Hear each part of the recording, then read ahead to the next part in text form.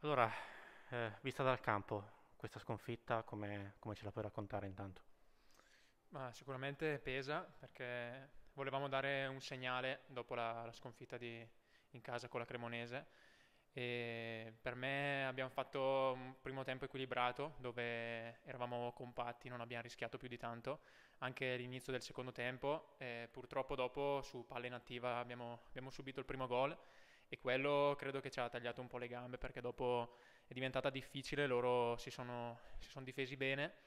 E mm, abbiamo preso anche il 2-0 eh, su una spinta lì, dopo l'arbitro, eh, sono scelte dell'arbitro con la VAR e mm, siamo riusciti dopo a recuperare subito il primo gol di svantaggio e, e poi sul più bello quando speravamo di, di poter recuperare la partita nel finale è arrivato il 3-1 e, mm, e purtroppo è andata così, è un'altra sconfitta che, che pesa eh, anche perché fino al momento del, del gol dell'1-0 mh, non avevamo corso chissà, chissà quali rischi.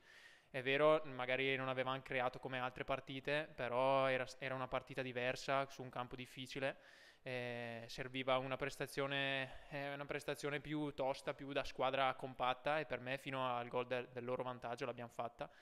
E dopo, ripeto, eh, quel gol lì per me ci ha tagliato un po' le gambe, è stato difficile poi recuperare. Ecco, eh, il primo gol loro è arrivato dopo qualche occasione nostra, insomma, sembrava un momento per noi importante, diciamo. Ritieni che mh, possa essere anche più una questione forse mentale che tattica?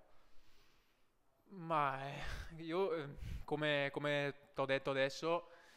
per me quando succedono sono episodi, perché quando prendi gol su palla inattiva sono- sappiamo che sono circostanze eh, dove bisogna stare concentrati, eh, però a palla inattiva sono situazioni pericolose per la, per la squadra avversaria e dobbiamo essere più bravi a non concedere questi tipi di, di palle inattive, di, di calci di punizione, perché eh, soprattutto nel campionato di Serie B le squadre sono molto preparate su questi episodi perché cercano sempre di, di sbloccare la partita anche con queste occasioni.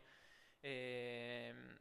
è, è stato, non credo che sia un fatto mentale, come, di- come ho detto prima, eh, l'1-0 così dopo che abbiamo creato comunque qualche occasione prima, prima del gol, eh, è molto difficile da, da mandare giù. E poi dopo pochi minuti è arrivato il 2-0 quando eh, ci stavamo ancora premendo per trovare il pareggio e,